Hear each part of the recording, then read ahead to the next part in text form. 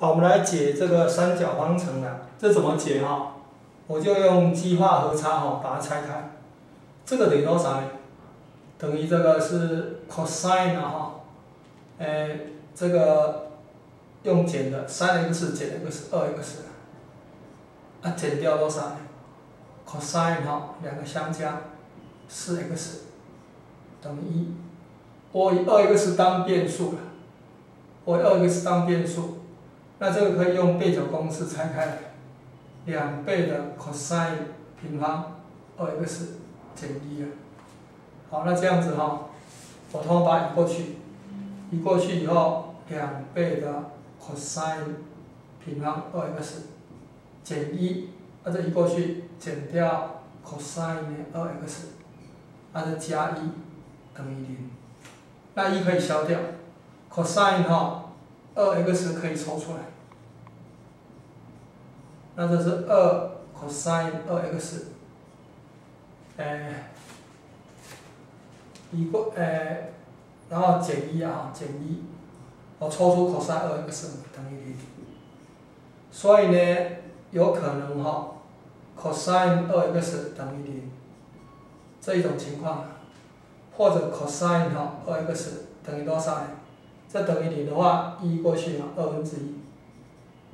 那如果我 cos 二 x 等于零的话，那 x 可能等于多少？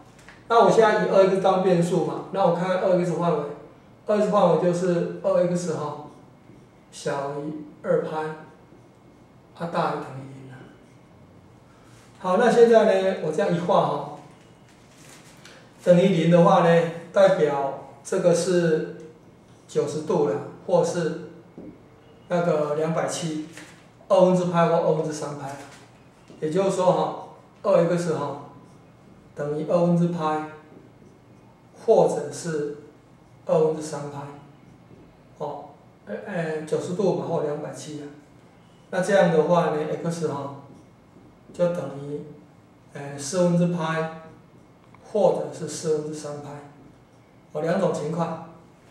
然后是二分之一的话，那二 x 有可能是六十度了，哦，六十度就是呃三分之派，或者负六十度，那负六十度就是什么呢？就是这个呃二派减掉三分之派啊，哦，这个是二派减三分之派，啊，就是说哈，这二 x 哈。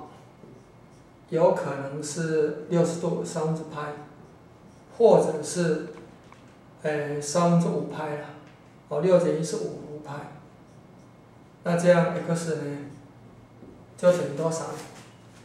六分之派，或者六分之五派。